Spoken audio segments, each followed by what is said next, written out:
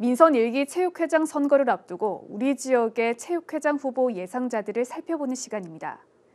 이번 시간은 체육회 상임부회장과 부회장, 전 시의장과 시의원 등이 출마 의사를 밝히면서 치열한 경쟁이 예상되는 구미시 체육회장 후보 예상자들을 만나봤습니다. 최현철 기자의 보도입니다. 첫 민선체육회장 선거가 한 달여 앞으로 다가오면서 구미시 체육회는 오는 30일 치러지는 체육회장 선거 준비에 박차를 가하고 있습니다. 구미시 체육회장 선거인단은 27개 읍면동의 당연직 대의원과 연맹장, 또 각 종목별 45개 가맹단체에서 추첨한 대의원 180명을 합쳐 총 250명으로 구성됩니다. 현재 구미시 체육회장 출마가 예상되는 사람은 정치인 출신 2명과 체육회 임원 출신 3명 등 5파전의 치열한 경쟁이 예상되는 상황. 먼저 오선 시의원이자 구미시의회 의장을 지낸 허복 전 의장이 강한 출마 의지를 보이고 있습니다. 허전 의장은 오선의 의정 활동과 4년간 구미시 배구협회장을 역임한 경험을 내세우며 앞서가는 체육회 행정과 체육 예산 확보 등에 대해 강한 자신감을 보였습니다. 국민체육진흥법 개정에 따라 민선 일기 그 체육회장은 아주 그 중요하다고 저는 생각합니다.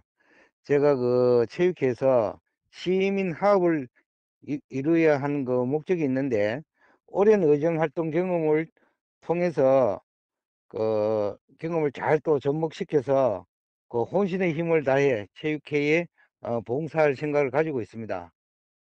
구미시의회 제7대 시의원을 지낸 김복자 전 의원도 최근 출마의 뜻을 밝혔습니다.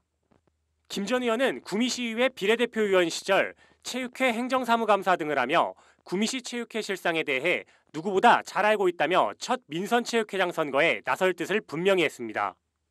그동안 구미시 체육회가 그동안은 수많은 정치 공세에서 벗어나지 못하고 어떤 제자리 걸음을 함으로써 구미 시민들이나 체육 관련 분들이 개혁을 원하고 있고 그리고 이제 진정으로 체육 발전을 위해서 정의롭고 또 공정하고 투명성 있게 제대로 한번 이렇게 세워보고자 출마하게 되었습니다. 체육회 임원 중에서는 김수조 전 구미시 체육회 상임부회장이 가장 먼저 출마의 의지를 내비쳤습니다. 김 전 부회장은 경상북도 체육회 임원을 거쳐 구미시 체육회 상임부회장을 지내며 지역 체육 발전에 30년 가까이 힘써온 경험과 경륜을 내세워 체육회장 출마에 강한 의지를 피력하고 있습니다. 오만의 체육인들이 제가 민선 제1기 체육회장을 원하고 저는 엘리트 체육과 저 뭡니까 생활 체육을 어 23개 경상북도 어 23개 시군에서 제일 먼저 구미시가 통합을 해서 오늘까지 잘 이끌어 왔습니다. 그런 노하우가 있, 있고 또 체육의 전문성을 가지고 있기 때문에 저는 민선 제1기의 회장에 출마를 하게 되었습니다. 구미시 체육회 상임부회장을 지낸 조병윤 전 부회장도 강력한 출마 의지를 나타냈습니다.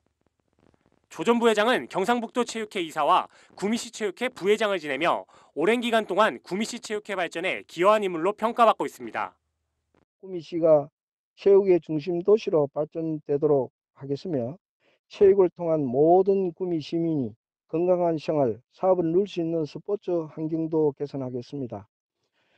우리 구미에서 개최되는 101회 전국체전 기술문화체전이 모든 시민과 체육인이 하나가 되어 축제의 장이 되도록 최선을 다하도록 하겠습니다. 이와 함께 윤상훈 현 구미시 체육회 부회장도 출마 의사를 비쳤습니다. 윤 부회장은 경상북도 배구협회장을 지냈고 현재 체육회 부회장직을 맡아 활발한 활동을 펼치고 있습니다. 또 첫 민선체육회장 선거인 만큼 윤 부회장은 구미시 체육회 발전에 큰 역할을 하고 싶다는 뜻을 밝혔습니다. 이 같은 가운데 구미시 체육회장 후보자 등록은 오는 19일에서 20일까지이며 공식 선거운동 기간은 21일부터 29일까지 9일간 진행됩니다. 또 30일 선거가 치러진 후 당선자는 내년 1월 12일 취임하게 됩니다. HCN 뉴스 최현철입니다.